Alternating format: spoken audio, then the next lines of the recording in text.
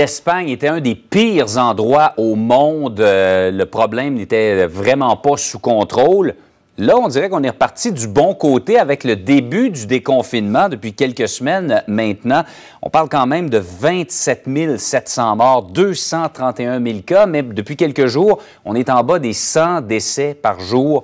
Alors, il y a des signes très encourageants. Celle qui nous a euh, toujours euh, qui a correspondu avec nous depuis le début de cette crise, c'est Christine Cardin, euh, qui est en banlieue de Madrid, en Espagne. Bonjour, Christine.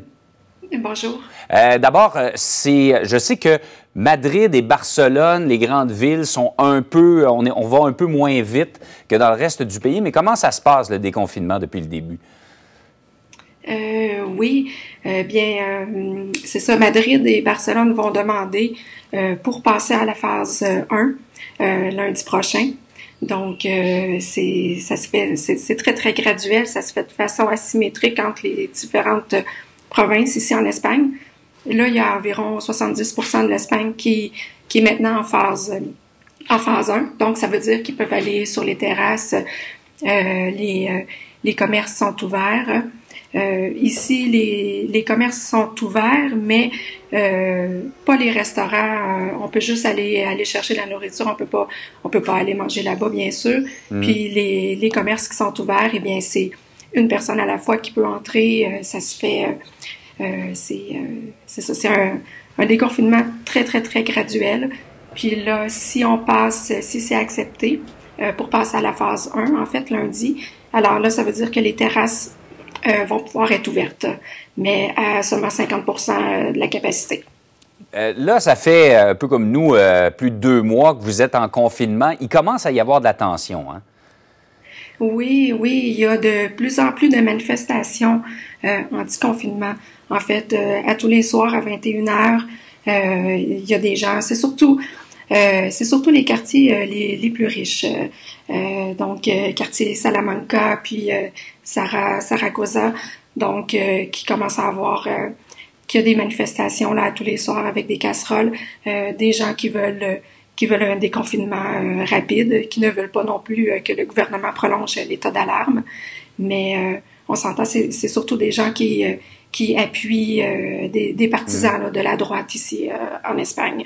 Qu'est-ce qu'il y en est du port du masque? Quand vous sortez de chez vous? Est-ce que vous, je sais que vous êtes obligé de l'avoir, je pense, dans le transport en commun. Est-ce qu'on veut élargir ça? Euh, oui, ça se parle peut-être pour probablement que ça va devenir obligatoire. Euh, c'est pas encore sûr, mais ça se parle de plus en plus. Mais pour le moment, c'est obligatoire, c'est sûr, dans, dans le métro, dans les transports en commun.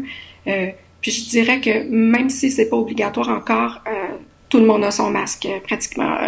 Euh, il y en a, il y, en, a qui qui le portent pas, mais c'est c'est très très c'est très très peu là. on n'hésite pas, on met notre masque avant de sortir. puis la plupart des gens ont des gants aussi. dès qu'on rentre, dès qu'on rentre au supermarché, c'est sûr qu'il faut se désinfecter les mains, il faut mettre des gants aussi. Je le disais euh, en introduction, les derniers chiffres, même s'ils sont impressionnants, plus de 20, presque 28 000 morts, euh, des centaines de milliers de cas, les chiffres sont très encourageants au cours des derniers jours. On sent là, que le, pire est passé, que la situation se stabilise. Oui, mais c'est sûr que euh, la situation se stabilise, mais ça fait quand même deux mois qu'on est en confinement strict. Alors, il y a la crainte que euh, c'est pour ça que ça se fait graduellement aussi. Il y a la crainte que ça reparte, euh, que ça reparte vers euh, vers le haut. Donc c'est ça. Les, les, gens veulent déconfiner quand même. C'est sûr que deux mois en confinement strict, c'est c'est très difficile. Puis ici aussi, la c'est sûr que la météo la météo est belle. On, a des journées, il fait toujours soleil. toute la semaine, là, il annonce en haut de 30 degrés.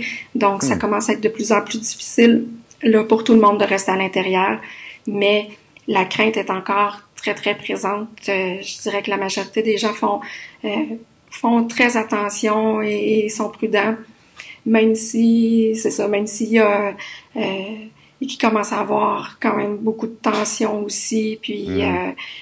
les on, est rendu, on, sent que les gens sont pas mal à la limite là, de ce qu'ils peuvent, de ce qu'ils peuvent supporter. Puis c'est ça. En plus, avec l'été qui s'en vient, euh, euh, c'est déjà pas très encourageant. Donc, euh, c'est au moins, on, espère au moins être capable de un certain, certain petit retour à la normale. On vous le souhaite effectivement. Donc, on sent que c'est un optimisme très prudent dans les circonstances, un peu comme ici au Québec. Christine Cardin, merci d'avoir été avec nous. merci.